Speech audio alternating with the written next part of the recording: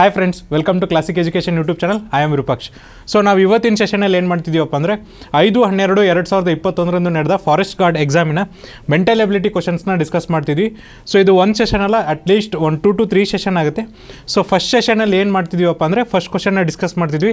ಇದು ಬಿ ಸೀರೀಸ್ನ paper so first question ಏನಿದೆ ನೋಡಿರಿ? ಆ back contents fifteen red balls and fifteen black balls each ball is numbered either one or two or three twenty percent twenty percent of the red balls are numbered one and forty percent of them are numbered three among the black balls forty five percent are numbered 2 and 30% are numbered 3 a boy picks a ball at a random from the bag he wins if the ball is red and numbered 3 or if it is black and numbered 1 or 2 what is the chances of the boy winning so ಈ ಕ್ವಶನಲ್ಲಿ ಏನು ಕೇಳಿದಾರಪ್ಪ ಅಂದರೆ ನಿಮಗೆ ಈ ಕ್ವಶನಲ್ಲಿ ಏನು ಕೇಳಿದಾರಪ್ಪ ಅಂದರೆ ನಿಮಗೆ, ಒಬ್ಬ ಹುಡುಗ ಇರ್ತಾನೆ, ಒಂದು ಬ್ಯಾಗ್ ಇದೆ. ಒಂದು ಬ್ಯಾಗಲ್ಲಿ ಎಷ್ಟು ಟೋಟಲ್ ಬಾಲ್ಸ್ ಇದೆಯಪ್ಪ ಅಂದರೆ ಹದಿನೈದು ಪ್ಲಸ್ ಇಪ್ಪತ್ತು, ಮೂವತ್ತೈದು ಬಾಲ್ ಬಾಲ್ಸ್ ಇದೆ. ಅದರಲ್ಲಿ ಈ ಹದಿನೈದು ಬಾಲ್ಸ್ ಬಂದ್ಬಿಟ್ಟು ಯಾವುದಿದೆಯಪ್ಪ ಅಂದರೆ ರೆಡ್ ಬಾಲ್ಸ್ ಇದೆ. ಇನ್ನು ಇಪ್ಪತ್ತು ಬಂದುಬಿಟ್ಟು ಬ್ಲ್ಯಾಕ್ ಬಾಲ್ಸ್ ಇದೆ. ಆಮೇಲೆ ಏನಾಗುತ್ತೆ ಅಂದರೆ ಈ ರೆಡ್ ಮತ್ತು ಬ್ಲ್ಯಾಕ್ ಬಾಲ್ಸ್ನ ಒಂದು, ಎರಡು, ಮೂರು ಅಂತ ಕೋಡ್ ಮಾಡಿರ್ತಾರೆ. ಅದರೊಳಗೆ ಇಪ್ಪತ್ತು ಪರ್ಸೆಂಟ್ ರೆಡ್ ಬಾಲ್ಸ್ ಏನಿರ್ತಾವಪ್ಪ ಅಂದರೆ ನಂಬರ್ ಒನ್ ಅಂತ ಕೋಡ್ ಮಾಡಿರ್ತಾರೆ, ನಲ್ವತ್ತು ಪರ್ಸೆಂಟ್ನ ನಂಬರ್ ತ್ರೀ ಅಂತ ಕೋಡ್ ಮಾಡಿರ್ತಾರೆ. ಆಮೇಲೆ ಏನಂದರೆ ಬ್ಲ್ಯಾಕ್ ಬಾಲ್ಸ್ ಒಳಗೆ ನಲ್ವತ್ತೈದು ಪರ್ಸೆಂಟ್ ಬಾಲ್ಸ್ನ ನಂಬರ್ ಟೂ ಅಂತ ಕೋಡ್ ಮಾಡಿರ್ತಾರೆ, ಆಮೇಲೆ ಮೂವತ್ತು ಪರ್ಸೆಂಟ್ ಬಾಲ್ಸ್ನ ನಂಬರ್ ತ್ರೀ ಅಂತ ಕೋಡ್ ಮಾಡಿರ್ತಾರೆ. ಹಾಗಾದರೆ ಒಬ್ಬ ಹುಡುಗ ಬಂದು ಒಂದು ಬಾಲ್ನ ಪಿಕ್ ಮಾಡ್ತಾನೆ. ಆ ಬಾಲ್ ಪಿಕ್ ಮಾಡಿದಾಗ ಅವ್ನು ವಿನ್ ಆಗಬೇಕು. ಯಾವಾಗ ವಿನ್ ಹಾಕನಪ್ಪ ಅಂದರೆ ಅವನೇನಾದರೂ ಕೆಂಪು ಕಲರ್ ಚೆಂಡು ತೊಗೊಂಡು ಅದು ನಂಬರ್ ತ್ರೀ ಆಗಿದ್ದರೆ ವಿನ್ ಆಗ್ತಾನೆ. ಅಥವಾ ಕರಿ ಕಲರ್ ಚೆಂಡು ತೊಗೊಂಡು ಅದು ನಂಬರ್ ಒನ್ ಅಥವಾ ಎರಡು ಇದ್ದರೆ ವಿನ್ ಆಗ್ತಾನೆ ಅಂತ ಹೇಳಿದ್ದಾರೆ. ಹಾಗಾದರೆ ಚಾನ್ಸ್ ಯಾವುದು ಅಂತ ಕೇಳಿದ್ದಾರೆ. ಸೊ ನೋಡಿರಿ, ಇದು ಪ್ರೊಬಾಬಿಲಿಟಿ ಮೇಲೆ ಕ್ವಶನ್ಸು ಪ್ರೊಬಾಬಿಲಿಟಿ ನಿಮಗೆ ಗೊತ್ತೇ ಇದೆ. Probability is equal to number of possible possible ways divided by total possibles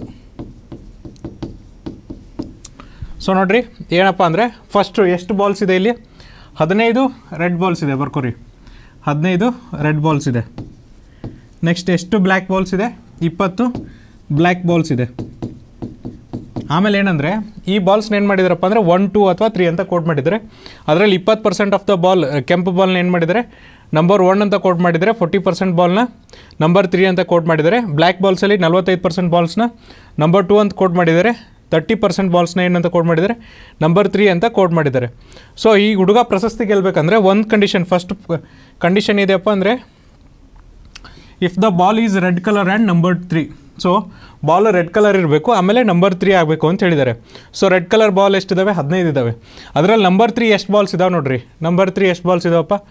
First twenty percent ball number one ಅಂತ ಕೋಡ್ ಮಾಡ್ತಾರೆ ಫೋರ್ಟಿ ಪರ್ಸೆಂಟ್ ನಂಬರ್ ತ್ರೀ ಅಂತ ಕೋಡ್ ಮಾಡ್ತಾರೆ. So forty percent of fifteen ಎಷ್ಟಾಗುತ್ತೆ ನೋಡಿರಿ? Forty percent of fifteen ಎಷ್ಟಾಗುತ್ತೆ ನೋಡಿರಿ. ಇಪ್ಪತ್ತೆರಡಲೆ, ಇಪ್ಪತ್ತೈದಲೆ ಐದು ಒಂದಲೆ ಐದು ಮೂರಲೆ ಸೊ ಸಿಕ್ಸ್ ಬಾಲ್ಸ್ ಆಗುತ್ತೆ. ಸೊ ಅವನು ಫಸ್ಟ್ ಕಂಡೀಷನಲ್ಲಿ ವಿನ್ ಆಗಬೇಕಂದ್ರೆ ಸಿಕ್ಸ್ ಬಾಲ್ಸ್ನ ಪಿಕ್ ಮಾಡಬೇಕು. ಎಷ್ಟು ಬಾಲ್ಸ್ ಇದಾವೆ total fifteen plus twenty thirty five balls ಇದ್ದಾವೆ ಅಥವಾ ಅಥವಾ ಅಂತ ಬಂದಾಗ ಯಾವಾಗಲೂ ಪ್ಲಸ್ನ ಯೂಸ್ ಮಾಡಿರಿ. ಆ್ಯಂಡ್ ಅಂತ ಬಂದಾಗ ಇಂಟುನ ಯೂಸ್ ಮಾಡಿರಿ. ಸೊ ಆರ್ ಅಂತಿದೆ. ಅಥವಾ ಇನ್ನು ಈ ಸೆಕೆಂಡ್ ಕಂಡೀಷನ್ ಏನಿದೆಪ್ಪ ಅಂದರೆ black ball numbered one or two ಅಂತ ಹೇಳಿದ್ದಾರೆ. ಸೊ ಅವನು ಕರಿ ಬಾಲನ್ನು ಕರಿ ಚೆಂಡನ್ನು ಪಿಕ್ ಮಾಡಬೇಕು, ಅದು ನಂಬರ್ ಒನ್ ಅಥವಾ ಎರಡು ಅಂತ ಹೇಳಿಬೇಕು ಸೊ ಕರಿ ಚೆಂಡ್ ಎಷ್ಟಿದಾವೆ ನೋಡಿರಿ? ಕರಿ ಚೆಂಡ್ ಇಪ್ಪತ್ತಿದ್ದಾವೆ ಸೊ ಅದರಲ್ಲಿ ನಂಬರ್ ಒನ್ ಮತ್ತು ಟೂನ ಟೂ ಚೆಂಡ್ ಎಷ್ಟಿದಾವೆ ಅಂತ ಕಂಡಿಡೀರಿ ನೀವು. ಸೊ ಇಲ್ಲಿ ನೋಡ್ರಿ, ನಲ್ವತ್ತೈದು ಪರ್ಸೆಂಟ್ ಬಾಲ್ಸ್ ಏನಿದಾವಪ್ಪ ಅಂದರೆ number two ಅಂತಿದ್ದಾವೆ thirty percent ball number three ಇದ್ದಾವೆ so thirty percent ball number three ಇದಾವೆ ಅಂದರೆ ಇನ್ನು ಉಳ್ಕೆದ್ದು ನಂಬರ್ ಒನ್ ಆ್ಯಂಡ್ ಟೂ ಇರ್ತವೆ. ಸೊ ತರ್ಟಿ ಪರ್ಸೆಂಟಲ್ಲಿ ನೂರಲ್ಲಿ ತರ್ಟಿ ಪರ್ಸೆಂಟ್ ತೆಗೆದುಬಿಟ್ರೆ ಎಷ್ಟು ಉಳಿಯುತ್ತಪ್ಪ ನಿಮಗೆ? ಸೆವೆಂಟಿ ಪರ್ಸೆಂಟ್ ಉಳಿಯುತ್ತೆ. ಹಾಗಾದರೆ ಸೆವೆಂಟಿ ಪರ್ಸೆಂಟ್ ಬಾಲ್ ಏನಿದಾವೆ ಅಂದರೆ ನಂಬರ್ ಒನ್ ಆ್ಯಂಡ್ ಟೂ ಅದಾವೆ. ಸೊ ಆ ಸೆವೆಂಟಿ ಫೈವ್ ಪರ್ಸೆಂಟ್ ಬಾಲ್ ಎಷ್ಟಕ್ಕಪ್ಪ ಅಂದರೆ ಟ್ವೆಂಟಿ ಬಾಲ್ಸಿಗೆ ಸೊ ಟ್ವೆಂಟಿ ಬಾಲ್ಸಿಗೆ ಸೆವೆಂಟಿ ಪರ್ಸೆಂಟ್ ಎಷ್ಟಾಗುತ್ತೆ ನೋಡಿರಿ? Seventy divided by hundred into twenty ಮಾಡಿರಿ. ಇಪ್ಪತ್ತೊಂದಲೆ ಇಪ್ಪತ್ತೈದಲೆ ಐದು ಐದೊಂದಲೆ.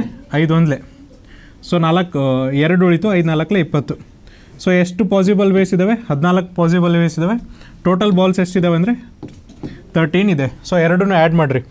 ಸೊ ಡಿನಾಮಿನೇಟ್ರ್ ಸೇಮ್ ಇದೆ. ತರ್ಟಿ ಫೈವ್ ಸೊ ಹದಿನಾಲ್ಕು ಪ್ಲಸ್ ಆರು ಮಾಡಿದರೆ ಇಪ್ಪತ್ತಾಯಿತು ಸೊ ನೋಡಿರಿ, ಇದು ಡಿವೈಡ್ ಆಗುತ್ತೆ. ಐದು ನಾಲ್ಕಲೆ, ಐದು ಏಳೆ ಸೊ ಎಷ್ಟಾಯ್ತಪ್ಪ ಆನ್ಸರ್ ಅಂದರೆ ಫೋರ್ ಬೈ ಸೆವೆನ್ ವೇಸ್ ಆಯಿತು. ಸೊ ಆಪ್ಷನ್ ನಂಬರ್ ಡಿ ಆಗುತ್ತೆ. ಸೊ ನೆಕ್ಸ್ಟ್ ಕ್ವಶನ್ ನೋಡಿರಿ. ನೆಕ್ಸ್ಟ್ ಕ್ವಶನ್ ಏನಿದೆ ಅಂದರೆ circle and a square have the same perimeter then ಅಂತ ಕೇಳಿದ್ದಾರೆ. ಸೊ ಒಂದು ಸರ್ಕಲ್ ಮತ್ತು ಸ್ಕ್ವೇರ್ ಸೇಮ್ ಪೆರಿಮೀಟರ್ ಇದ್ದರೆ ಯಾವ ಆಪ್ಷನ್ ಇಲ್ಲಿ ಕರೆಕ್ಟ್ ಆಗುತ್ತೆ ಅಂತ ಕೇಳಿದ್ದಾರೆ. ಫಸ್ಟ್ ಆಪ್ಷನ್ ಏನಿದೆ ನೋಡಿರಿ? ದ ಏರಿಯಾಸ್ ಆರ್ ಈಕ್ವಲ್ ಅವೆರಡ್ರದ್ದು ಏರಿಯಾಸ್ ಏನಿರುತ್ತಪ್ಪ ಅಂದರೆ ವಿಸ್ತೀರ್ಣ ಈಕ್ವಲ್ ಆಗಿರುತ್ತೆ ಅಂತ ಹೇಳಿದ್ದಾರೆ. ನೆಕ್ಸ್ಟಲ್ಲಿ ಏನಿದ್ದಾರೆ ಅಂದರೆ the area of square is greater ಚೌಕದ ವಿಸ್ತೀರ್ಣ ಜಾಸ್ತಿ ಇರುತ್ತೆ ಅಂತ ಹೇಳಿದ್ದಾರೆ. The area of circle is greater ಅಂತ ಹೇಳಿದ್ದಾರೆ. ಅಂದರೆ ವೃತ್ತದ ವಿಸ್ತೀರ್ಣ ಏನಪ್ಪ? ಜಾಸ್ತಿ ಇರುತ್ತೆ ಅಂತ ಹೇಳಿದ್ದಾರೆ. ಲಾಸ್ಟಿಗೆ ನನ್ ಆಫ್ ದ ಯಾವುದೂ ಇಲ್ಲ ಅಂತ ಹೇಳಿದ್ದಾರೆ. ಸೊ ನಾವೇನು ಮಾಡೋಣ? ಪೆರಿಮೀಟರ್ ನೋಡಿರಿ ಪೆರಿಮೀಟರ್ ಫಾರ್ಮುಲಾ ಫಸ್ಟ್ ತಿಳ್ಕೊರಿ. ಪೆರಿಮೀಟರ್ ಆಫ್ ಸರ್ಕಲ್ ಫಾರ್ಮುಲಾ ಏನಿದೆಪ್ಪ ಅಂದರೆ ಟೂ ಪೈ ಆರ್ ಇದೆ. ಅದೇ ಥರನಾಗಿ ಪೆರಿಮೀಟರ್ ಆಫ್ ಸ್ಕ್ವೇರ್ ಏನಾಗುತ್ತಪ್ಪ ಅಂದರೆ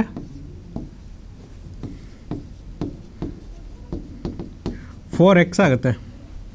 ಸೊ ನೋಡಿರಿ, ನಮಗೆ ಆರು ಗೊತ್ತಿಲ್ಲ ಫೋರ್ ಎಕ್ಸು ಗೊತ್ತಿಲ್ಲ. ಸೊ ನಾವೇನು ಮಾಡೋಣ? ಇಲ್ಲಿ ಏರಿಯಾದಲ್ಲಿ ಕೊಟ್ಟಿದ್ದಾರೆ ಹಾಗಾಗಿ ಏರಿಯಾ ಕಂಡುಹಿಡಿಯೋಣ. ನಾವು ಅಸ್ಯೂಮ್ ಮಾಡೋಣ, ಇವೆರಡು ಎಷ್ಟು ಈಕ್ವಲ್ ಇದಾವೆ ಅಂದರೆ ಫೋರ್ಟಿ ಫೋರ್ ಇದು ಈಕ್ವಲ್ ಇದಾವೆ ಅಂತ ಅಸ್ಯೂಮ್ ಮಾಡೋಣ. ಸೊ ನೋಡಿರಿ two pi r equal to forty four ಆದರೆ ಆರ್ ಈಕ್ವಲ್ ಟು ಎಷ್ಟಾಗುತ್ತೆ ನೋಡಿರಿ? Two into pi twenty two by seven r into forty four ಆಯಿತು. ಸೊ ನೋಡಿರಿ, ಇಪ್ಪತ್ತೆರಡರಲ್ಲೇ ನಲ್ವತ್ನಾಲ್ಕು, ಈ ನಲ್ವತ್ನಾಲ್ಕು ಈ ನಲ್ವತ್ನಾಲ್ಕು ಕ್ಯಾನ್ಸಲ್ ಆಯಿತು. ಆರ್ ಈಕ್ವಲ್ ಟು ಸೆವೆನ್ ಆಯಿತು ಸೊ ವಿಸ್ತೀರ್ಣದ ಫಾರ್ಮುಲಾ ಏನಪ್ಪ?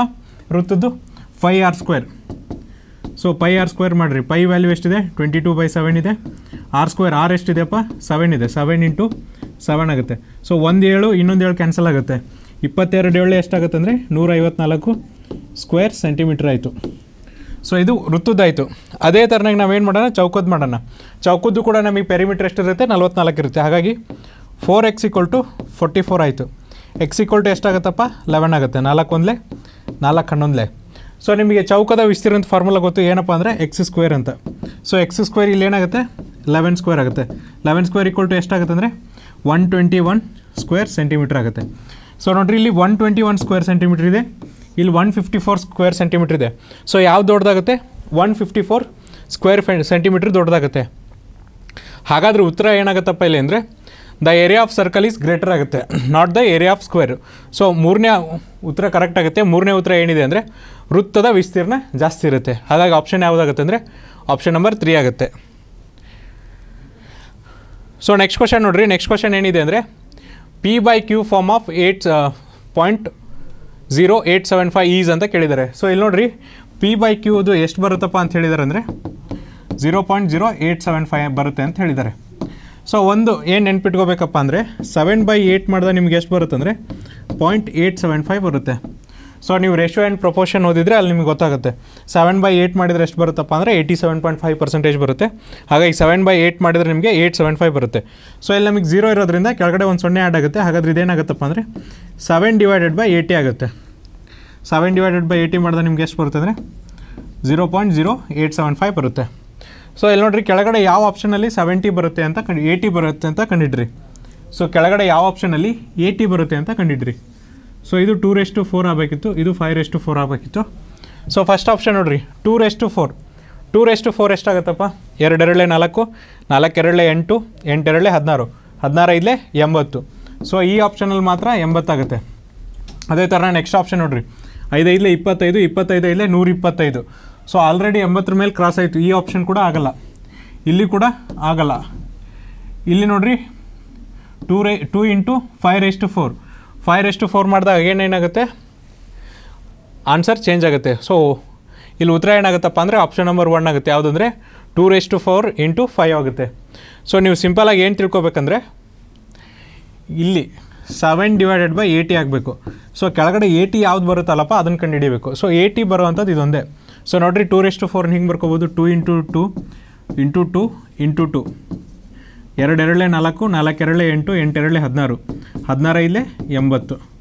ಸೊ ಹಾಗೆ ಆಪ್ಷನ್ ಯಾವುದಾಗುತ್ತೆ ಅಂದರೆ ಆಪ್ಷನ್ ನಂಬರ್ ಎ ಆಗುತ್ತೆ. ಸೊ ಈ ಥರ ಕೊಟ್ಟಾಗ ನೀವು ಜಸ್ಟ್ ಡಿನಾಮಿನೇಟ್ರನ್ನ ಕ್ಯಾಲ್ಕುಲೇಷನ್ ಮಾಡಿರಿ. ಯಾಕಂದರೆ ನ್ಯೂಮರೇಟ್ರಲ್ಲಿ ಎಲ್ಲ ಕಡೆ ಸೆವೆನ್ ಇದೆ ಡಿನಾಮಿನೇಟ್ರಲ್ಲಿ ಮಾತ್ರ ವೇರಿಯೇಷನ್ ಇದೆ. ಸೊ ಆನ್ಸರ್ ಏನಾಗುತ್ತಪ್ಪ ಅಂದರೆ ಆಪ್ಷನ್ ನಂಬರ್ ಎ ಆಗುತ್ತೆ. ಸೊ ನೆಕ್ಸ್ಟ್ ಕ್ವಶನ್ ನೋಡ್ರಿ. If the corresponding sides of two similar triangles are ratio are in the ratio of four is to nine then the areas of these triangles in the ratio of ಅಂತ ಕೇಳಿದ್ದಾರೆ.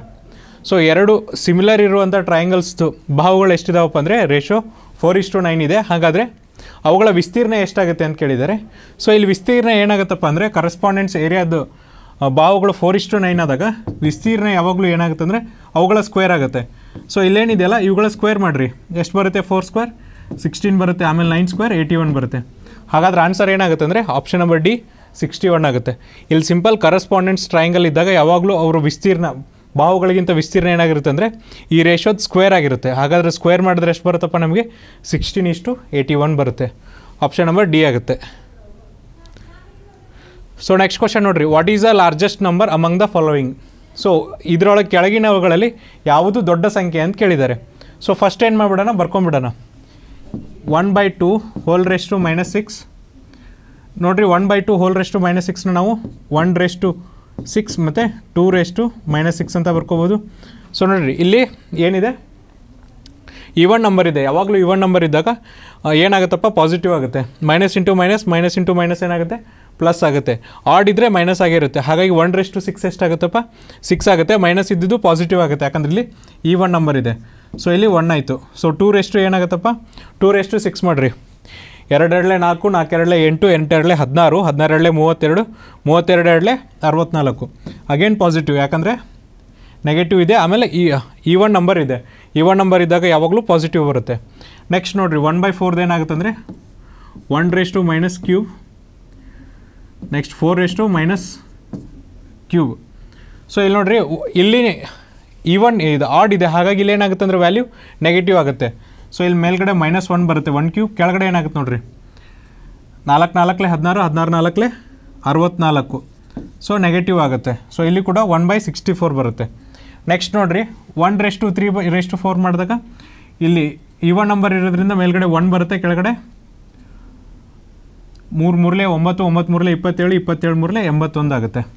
So ಇಲ್ಲೂ minus ಬರುತ್ತೆ. ಈ minus ಈ minus cancel ಆದರೆ positive ಆಗುತ್ತೆ. Next ನೋಡಿರಿ.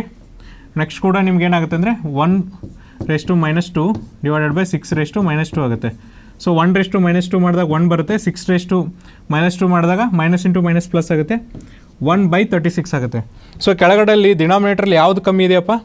Thirty six value ಕಮ್ಮಿ ಇದೆ. ಹಾಗಾದರೆ ಆನ್ಸರ್ ಏನಾಗುತ್ತೆ ಅಂದರೆ ಆಪ್ಷನ್ ನಂಬರ್ ಡಿ ಆಗುತ್ತೆ. ಸೊ ಈ ಥರ ಕ್ವಶನ್ಸ್ ಕೊಟ್ಟಾಗ ನೀವು ಅದನ್ನು ಎಕ್ಸ್ಪ್ಯಾಂಡ್ ಮಾಡಿ ರಿಯಲ್ ವ್ಯಾಲ್ಯೂ ಕಂಡು ಹಿಡಿದಾಗ ಮಾತ್ರ ನಿಮಗೆ ಆನ್ಸರ್ ಗೊತ್ತಾಗುತ್ತೆ. ಆನ್ಸರ್ ಏನಾಗುತ್ತಪ್ಪ ಅಂದರೆ ಒನ್ ಬೈ ತರ್ಟಿ ಸಿಕ್ಸ್ ಆಗುತ್ತೆ. ಸೊ ನೆಕ್ಸ್ಟ್ ಕ್ವಶನ್ ನೋಡ್ರಿ. ನೆಕ್ಸ್ಟ್ ಕ್ವಶನ್ ಏನಿದೆ ಅಂದರೆ a person can complete twenty percent of the work in eight days and another person can Y can complete the same work in twenty five percent of the same work in six days if they work together in how many days will forty percent of the work be completed so x ಅನ್ನೋ ವ್ಯಕ್ತಿ ಒಂದು ಕೆಲಸನ ಏನು ಮಾಡ್ತಾನಪ್ಪ ಅಂದರೆ, ಇಪ್ಪತ್ತು percent ಕೆಲಸನ ಎಂಟು ದಿನದಲ್ಲಿ ಮಾಡ್ತಾನೆ. ಅದೇ ಥರನಾಗಿ ವೈ ಅನ್ನೋ ವ್ಯಕ್ತಿ ಇಪ್ಪತ್ತೈದು ಪರ್ಸೆಂಟ್ ಅದೇ ಕೆಲಸನ ಏನು ಮಾಡ್ತಾನಂದರೆ ಆರು ದಿನದಲ್ಲಿ ಮಾಡ್ತಾನೆ. ಹಾಗಾದರೆ ಇಬ್ಬರು ಕೂಡಿ ನಲ್ವತ್ತು ಪರ್ಸೆಂಟ್ ಆಫ್ ದ ಸೇಮ್ ವರ್ಕ್ನ ಎಷ್ಟು ದಿನದಲ್ಲಿ ಮಾಡ್ತಾರೆ ಅಂತ ಕೇಳಿದ್ದಾರೆ. ಸೊ ನೋಡಿರಿ ಎಕ್ಸ್ ಅನ್ನೋ ವ್ಯಕ್ತಿ twenty percent of the work ಎಷ್ಟು ದಿನದಲ್ಲಿ ಕಲ್ ಮುಗಿಸ್ತಾನೆ? ಏಟ್ ಡೇಸಲ್ಲಿ ಮುಗಿಸ್ತಾನೆ. ಅದೇ ಥರನಾಗಿ ವೈ ಅನ್ನೋ ವ್ಯಕ್ತಿ twenty five percent of the same ವರ್ಕ್ನ ಎಷ್ಟು ದಿನದಲ್ಲಿ ಮುಗಿಸ್ತಾನೆ? ಸಿಕ್ಸ್ ಡೇಸಲ್ಲಿ ಮುಗಿಸ್ತಾನೆ. ಹಾಗಾದರೆ ನಮಗೇನು ಕೇಳಿದ್ದಾರೆ? ಎಕ್ಸ್ ಪ್ಲಸ್ ವೈ ಇಬ್ಬರು ಕೂಡ್ಕೊಂಡು forty five per forty percent of the ವರ್ಕ್ನ ಎಷ್ಟು ದಿನದಲ್ಲಿ ಮುಗಿಸ್ತಾರೆ ಅಂತ ಕೇಳಿದ್ದಾರೆ. ನೋಡ್ರಿ ಎಕ್ಸ್ ಅನ್ನೋ ವ್ಯಕ್ತಿ ಇಪ್ಪತ್ತು ಪರ್ಸೆಂಟ್ ವರ್ಕ್ನ ಎಂಟು ದಿನದಲ್ಲಿ ಮುಗಿಸ್ತಾನೆ. ಅಂದರೆ ನೂರು ಪರ್ಸೆಂಟ್ ಕಂಪ್ಲೀಟ್ ಮಾಡೋಕೆ ಅವ್ನಿಗೆ ಎಷ್ಟು ಬೇಕಪ್ಪ? ಟ್ವೆಂಟಿ ಇಂಟು ಫೈವ್ ಮಾಡಿದ್ರೆ ನಿಮ್ಗೆ ಎಷ್ಟು ಬರುತ್ತೆ? ಹಂಡ್ರೆಡ್ ಬರುತ್ತೆ. ಹಾಗಾದರೆ ಏಯ್ಟ್ ಇಂಟು ಫೈವ್ ಮಾಡಿದಾಗ ನಿಮ್ಗೆ ಎಷ್ಟು ಬರುತ್ತೆ? ಕಂಪ್ಲೀಟ್ ಡೇಸ್ ಬರುತ್ತೆ. ಸೊ ಅವ್ನು ಎಷ್ಟು ದಿನ ತೊಗೋತಾನೆ ಅಂದರೆ ಫೋರ್ಟಿ ಡೇಸ್ ತೊಗೋತಾನೆ.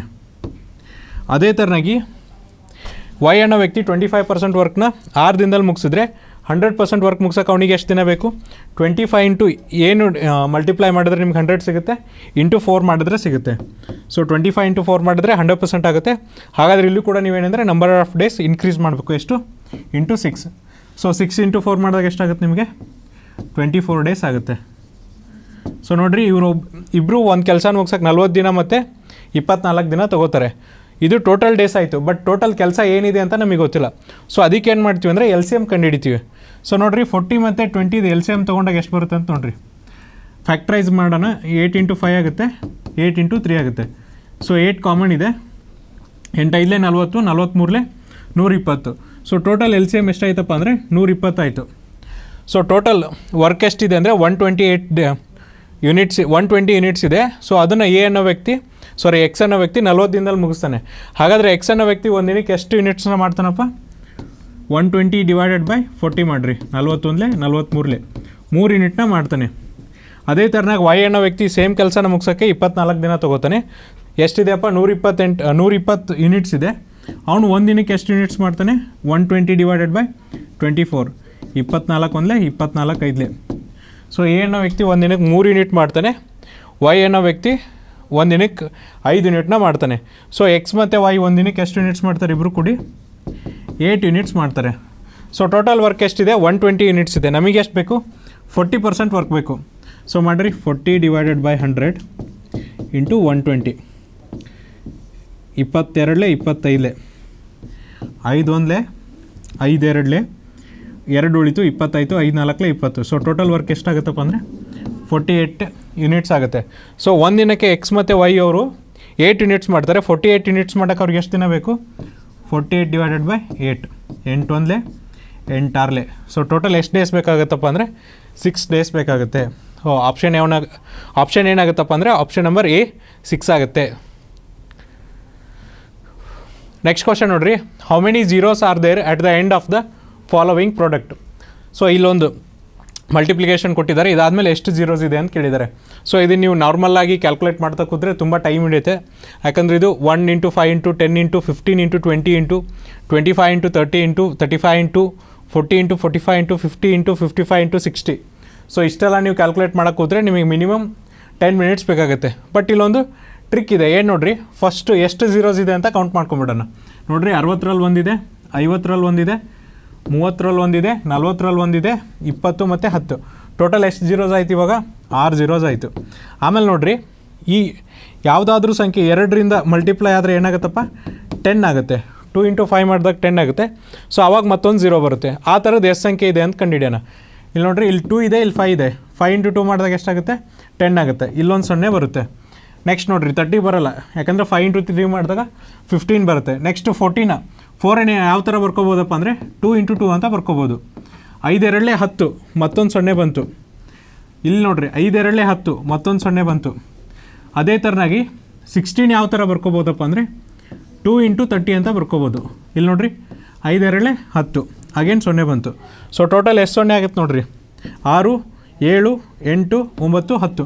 ಟೋಟಲ್ ಹತ್ತು ಸೊನ್ನೆಸ್ ಆಗುತ್ತೆ. ಹಾಗಾದ್ರೆ ಈ ಪ್ರಾಡಕ್ಟಲ್ಲಿ ಲಾಸ್ಟಿಗೆ ಎಷ್ಟು ಸೊನ್ನೆಸ್ ಇರ್ತಾವೆ ಅಂದ್ರಪ್ಪ? ಟೆನ್ ಸೊನ್ನೆಸ್ ಇರುತ್ತೆ. ಆಪ್ಷನ್ ನಂಬರ್ ಎ ಆಗುತ್ತೆ. ಸೊ ಅರ್ಥ ಆಯ್ತಲ್ಲ?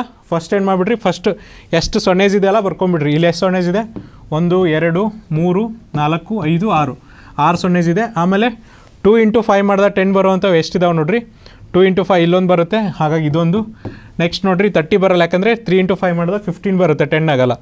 ಅದೇ ಥರನಾಗಿ ಫೋರ್ಟೀನ್ ಯಾವ ಥರ ಬರ್ಕೋತಾರಪ್ಪ ಅಂದರೆ ಟೂ ಇಂಟು ಟ್ವೆ ಟೂ ಇಂಟು ಟೆನ್ ಅಂತ ಬರ್ಕೋತಾರೆ. ಸೊ ಇಲ್ಲಿ ಫೈವ್ ಇಂಟು ಟೂ ಮಾಡಿದಾಗ ಟೆನ್ ಬರುತ್ತೆ, ಇಲ್ಲಿ ಫೈವ್ ಇಂಟು ಟೂ ಮಾಡಿದಾಗ ಟೆನ್ ಬರುತ್ತೆ. ಸೊ ಇಲ್ಲೊಂದು ಸೊನ್ನೆ ಇಲ್ಲೊಂದು ಸೊನ್ನೆ. ಲಾಸ್ಟಿಗೆ ಸಿಕ್ಸ್ಟೀನ್ ಯಾವ ಥರ ಬರ್ಕೋತಾರೆ ಅಂದರೆ ಟೂ ಇಂಟು ತರ್ಟಿ ಬರ್ಕೋತಾರೆ. ಫೈವ್ ಇಂಟು ಟೂ ಮಾಡಿದಾಗ ಅಗೇನ್ ಟೆನ್ ಬರುತ್ತೆ, ಇಲ್ಲೊಂದು ಸೊನ್ನೆ ಬರುತ್ತೆ. ಸೊ ಟೋಟಲ್ ನೋಡಿರಿ, ಆರು, ಏಳು, ಎಂಟು, ಒಂಬತ್ತು, ಹತ್ತು. ಟೋಟಲ್ ಹತ್ತು ಸೊನ್ನೆಗಳು ಬರುತ್ತೆ ಈ ಪ್ರಾಡಕ್ಟಲ್ಲಿ ಸೊ ಮೇನು ಈ ಕಾನ್ಸೆಪ್ಟನ್ನ ನೆನ್ಪಿಟ್ಕೋರಿ, ನಿಮಗೆ ನೆಕ್ಸ್ಟ್ ಎಕ್ಸಾಮಿನೇಷನಲ್ಲೂ ಹೆಲ್ಪ್ ಆಗುತ್ತೆ. ಸೊ ನೆಕ್ಸ್ಟ್ ಕ್ವಶನ್ ನೋಡ್ರಿ. Excluding the stoppage the speed of car is forty eight kilometre per hour if the stoppages are consider it is forty kilometre per hour for how many minutes does the car stop in and hour ಅಂತ ಕೇಳಿದ್ದಾರೆ. So ಒಂದು car ಏನು ಮಾಡುತ್ತಪ್ಪ ಅಂದರೆ ನಿರಂತರವಾಗಿ ನಿರಂತರವಾಗಿ ಸಾಕ್ತಿದ್ರೆ ಅದು ಒಂದು ಗಂಟೆಗೆ ನಲ್ವತ್ತೆಂಟು ಕಿಲೋಮೀಟ್ರ್ ತೊಗೊಳುತ್ತೆ. ಅದೇನಾದರೂ ಮಧ್ಯದಲ್ಲಿ ಸ್ಟಾಪ್ ಆದರೆ ಅದು ಎಷ್ಟು ಕಿಲೋಮೀಟ್ರ್ ತೊಗೊಳುತ್ತಪ್ಪ ಅಂದರೆ, ನಲ್ವತ್ತು ಕಿಲೋಮೀಟ್ರ್ ತೊಗೊಳುತ್ತೆ. ಹಾಗಾದರೆ ಒಂದು ಗಂಟೆಗೆ ಎಷ್ಟು ನಿಮಿಷ ನಿಲ್ಲುತ್ತೆ ಅಂತ ಕೇಳಿದ್ದಾರೆ. ಸೊ ನೋಡಿರಿ. ಸ್ಟಾಪೇಜ್ ಇಲ್ಲ ಅಂದರೆ ಆ ಕಾರ್ ಎಷ್ಟು kilometre ಹೋಗುತ್ತಪ್ಪ? Forty eight kilometre per hour ಹೋಗುತ್ತೆ. ಅಂದರೆ ಒಂದು ಗಂಟೆಗೆ ಫೋರ್ಟಿ ಏಯ್ಟ್ ಕಿಲೋಮೀಟ್ರ್ ಹೋಗುತ್ತೆ.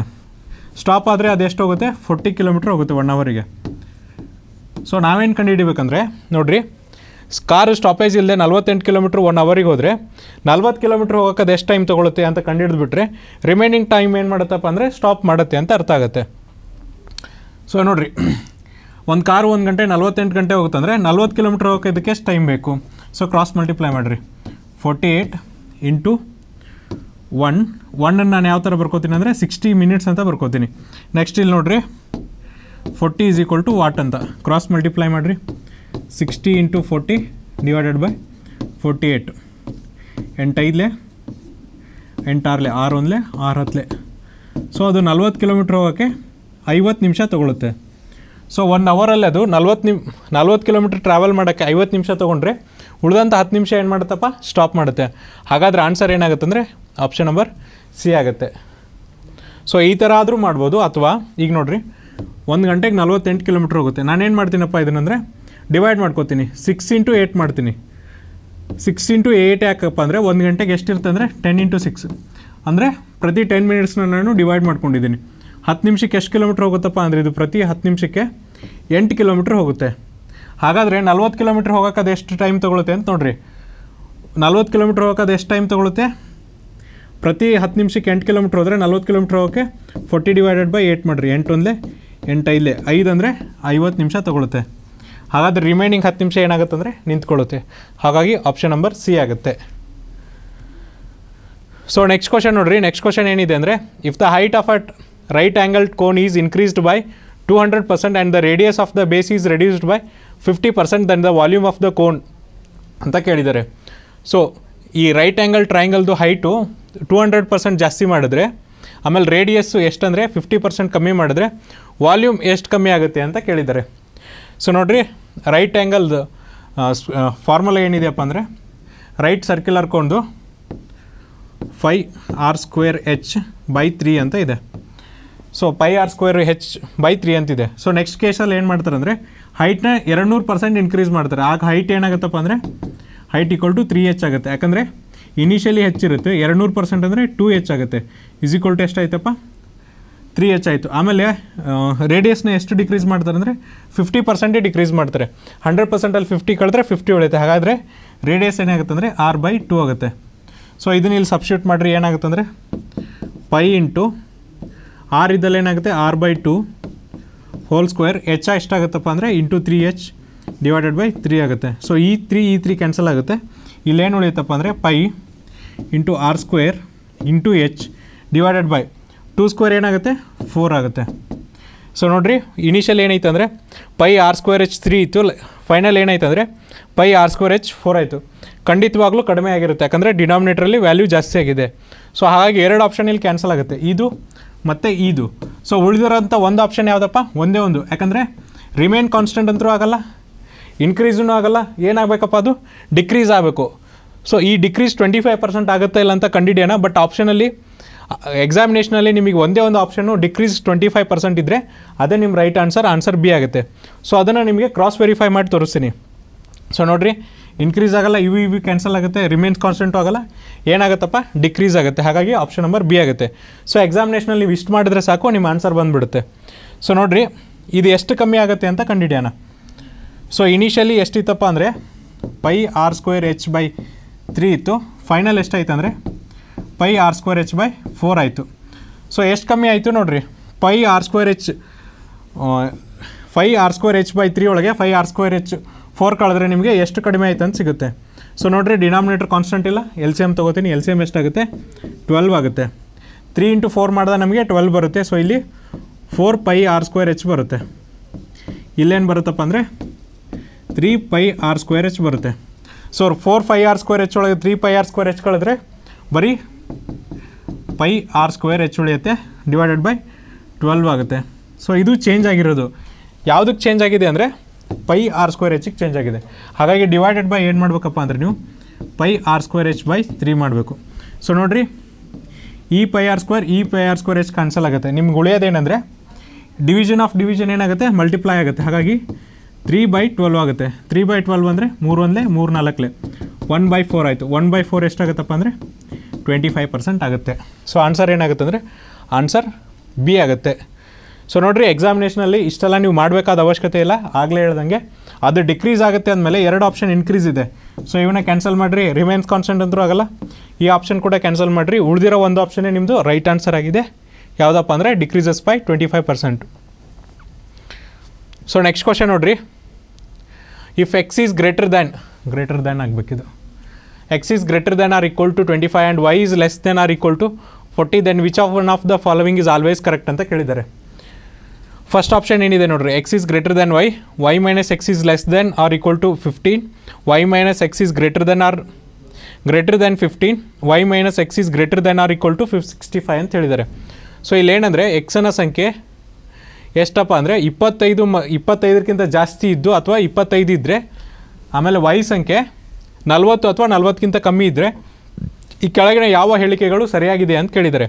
ಫಸ್ಟ್ ಸಂಖ್ಯೆ ಏನು ಫಸ್ಟ್ ಸ್ಟೇಟ್ಮೆಂಟ್ ಏನಿದೆ ನೋಡ್ರಿ ಎಕ್ಸ್ ವೈಕ್ಕಿಂತ ಯಾವಾಗಲೂ ಜಾಸ್ತಿ ಆಗಿರುತ್ತೆ ಅಂತ ಹೇಳಿದರೆ ನೆಕ್ಸ್ಟ್ ಸ್ಟೇಟ್ಮೆಂಟಲ್ಲಿ ವೈ ಮೈನಸ್ ಎಕ್ಸ್ ಯಾವಾಗಲೂ ಏನಂದರೆ ಹದಿನೈದಾದರೂ ಇರುತ್ತೆ, ಹದಿನೈದಕ್ಕಿಂತ ಕಮ್ಮಿ ಇರುತ್ತೆ ಅಂತ ಹೇಳಿದರೆ next statement Y minus X ಯಾವಾಗಲೂ ಹದಿನೈದಕ್ಕಿಂತ ಜಾಸ್ತಿ ಇರುತ್ತೆ ಅಂತ ಹೇಳಿದರೆ ನೆಕ್ಸ್ಟ್ ಸ್ಟೇಟ್ಮೆಂಟಲ್ಲಿ ಏನೇನಿದ್ದಾರೆ ಅಂದರೆ Y minus X is greater than or equal to sixty five Y minus X ಯಾವಾಗಲೂ ಅರವತ್ತೈದಕ್ಕಿಂತ ಜಾಸ್ತಿ ಇರುತ್ತೆ ಅಥವಾ ಅರವತ್ತೈದು ಇರುತ್ತೆ ಅಂತ ಹೇಳಿದ್ದಾರೆ ಸೊ ನೋಡಿರಿ ಫಸ್ಟ್ ಏನು ಕೊಟ್ಟಿದ್ದಾರೆ ಅಂದರೆ ಎಕ್ಸು ಇಪ್ಪತ್ತೈದಾದರೂ ಇರುತ್ತೆ ಅಥವಾ ಇಪ್ಪತ್ತೈದಕ್ಕಿಂತ ಕಮ್ಮಿ ಇರುತ್ತೆ. ಅಂದರೆ ಇಪ್ಪತ್ತೈದು ಜಾಸ್ತಿ. ಸೊ ನೆಕ್ಸ್ಟ್ ವೈ ಇಪ್ಪತ್ತೈದಕ್ಕಿಂತ ಜಾಸ್ತಿ ಇರುತ್ತೆ ಅಂತ ಹೇಳಿದ್ದಾರೆ. ಸೊ ಎಕ್ಸ್ ಜಾಸ್ತಿ. ಎಕ್ಸು ಇಪ್ಪತ್ತೈದಾದರೂ ಇರುತ್ತೆ ಅಥವಾ ಇಪ್ಪತ್ತೈದಕ್ಕಿಂತ ಜಾಸ್ತಿ ಇರುತ್ತೆ ಅಂತ ಹೇಳಿದ್ದಾರೆ. ನೆಕ್ಸ್ಟ್ ವೈ ಅನ್ನೋದು ಏನು ಹೇಳಿದ್ದಾರೆ ಅಂದರೆ ವೈ ನಲ್ವತ್ತಾದರೂ ಇರುತ್ತೆ ಅಥವಾ ನಲ್ವತ್ತಕ್ಕಿಂತ ಕಮ್ಮಿ ಇರುತ್ತೆ. ಸೊ ನಾವೇನು ಮಾಡ್ಬಿಡೋಣ? ಫಸ್ಟ್ ಕಂಡೀಷನಲ್ಲಿ ಎರಡು ಈಕ್ವಲ್ ಇದ್ದಿದ್ದು ಹಾಕ್ಬಿಡೋಣ. ಎಕ್ಸನ್ನ ಟ್ವೆಂಟಿ ಫೈವ್ ಅಂತ ತೊಗೊಳ್ಳೋಣ. ವೈನ ಫೋರ್ಟಿ ಅಂತ ತೊಗೊಳ್ಳೋಣ. ಸೊ ನಲ್ವತ್ತರಲ್ಲಿ ನೀವು ಇಪ್ಪತ್ತೈದು ಕಳೆದ್ರೆ ಹದಿನೈದು ಉಳೀತು.